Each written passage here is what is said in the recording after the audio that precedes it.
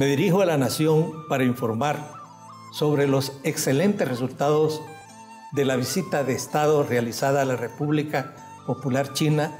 Quiero destacar el otorgamiento a El Salvador de 150 millones de dólares en concepto de cooperación no reembolsable. Estos fondos serán destinados a proyectos en los sectores de salud, educación, tecnología, suministro de agua. Se ampliará el programa de becas para que más jóvenes salvadoreños puedan estudiar en universidades chinas. Otro anuncio es la decisión de designar a El Salvador como un destino turístico. Otra importante decisión de China es la donación de 3.000 toneladas de arroz para atender las necesidades de las comunidades afectadas por la sequía y las inundaciones.